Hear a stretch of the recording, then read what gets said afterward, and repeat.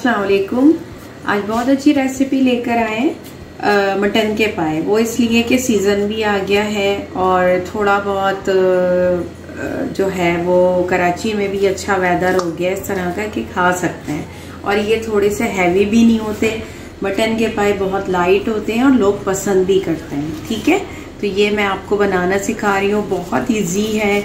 ये ऑलमोस्ट जो है, ये मेरे पास जो है वो आर्ट होंगे। ठीक है, पाए आठ होंगे और इसमें किस तरह से ये बन रहा है, बहुत इजी है। बस मैं आपको बता रही हूँ और ये इसको कुक करना है आपको टू आवर्स उसके बाद इसका प्रोसेस अलग है। ये मैं आपको जो है वो फ़र्स्ट स्टेप दे रही हूँ, उसके बाद इसका जो बाकी प्रोसेस है वो बाद में, ठीक है?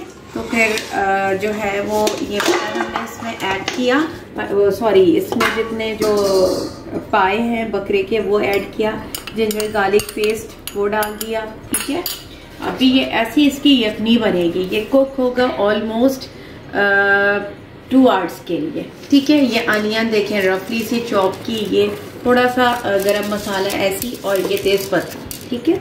ये डाल दिया और फिर हमने इसमें थोड़े से लाइट से स्पाइस डालने हैं सॉल्ट डाल दिया, ठीक है? और रेड चिली पाउडर है। और थोड़ा सा ये इसमें जो है वो वन टीस्पून सौंप डाल दी। अब ये कुक होगा ठीक है, ये इसकी यखनी बनेगी और ये जब यखनी बन जाएगी, उसी यखनी का हम जो है मसाला पूरा रेडी करेंगे, फिर वो आपके सामने होगा।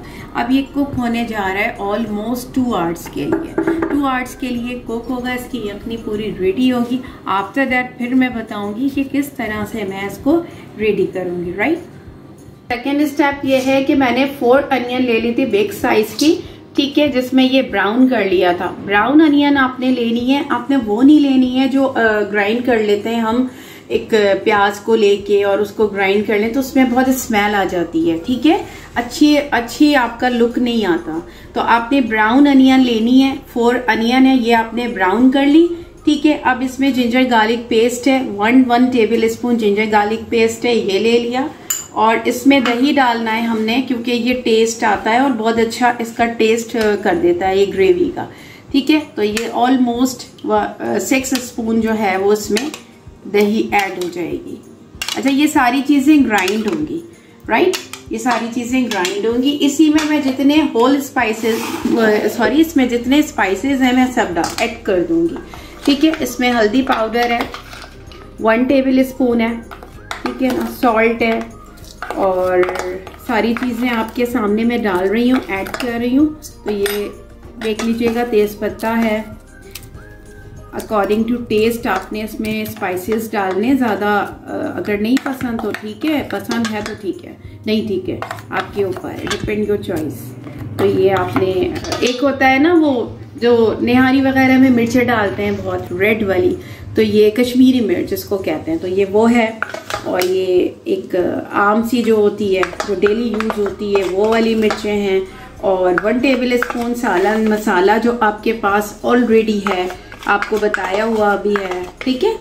एंड ये है, इसमें सौफ है, ज़ीरा है और साबुत धनिया है और बादियान के जो फ्लावर होते हैं वो है। बादियान के फ्लावर सौंफ, ज़ीरा और साबित धनिया। इसका पाउडर है। इसका पाउडर ये पूरा हम ऐड कर देंगे।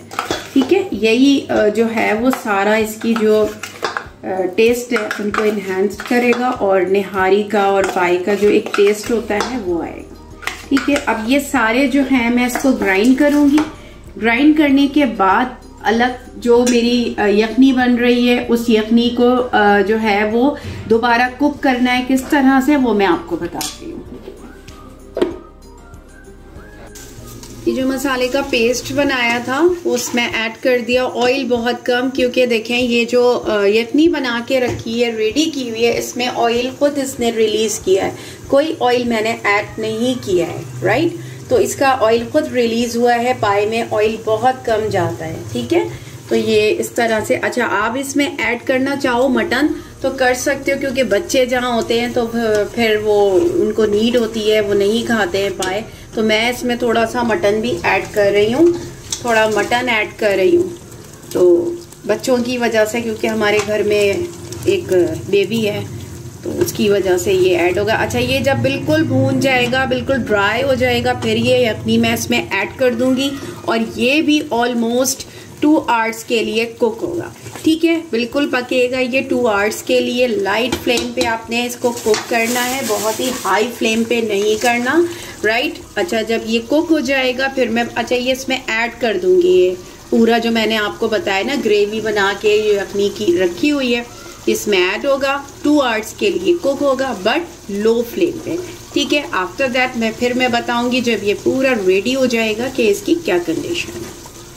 पाया भी, देखिए रेडी हो गया हमारा, इस तरह सर्व होगा। ये मैं प्लेटर है इसका, जो पूरा होता है green chillies and coriander and ginger ठीक है? ये आपने इसमें इस तरह से डाला राइट और ये इसमें गरम मसाला है और थोड़ा सा चाट मसाला से ऐसे आप स्प्रिंकल कर दें, बस। और ये नान होम मेड है। आपको पहले भी मैंने ये रेसिपी दी है तो ये आपके पास ऑलरेडी इसकी रेसिपी होगी। ये होम मेड नान है, ठीक है? इसको आप घर पे बनाएँ और ये पूरा आपका मील है। इसको ज़रूर ट्राई कीजिएगा, मुझे फीडबैक दीजिएगा। बहुत ज़बरदस्त ये रेसिपी है। और इन फिर नेक्स्ट वीडियो के लिए फिर आती हूँ। फिर नेक्स्ट वीडियो पे और जब तक के लिए टेक केयर एंड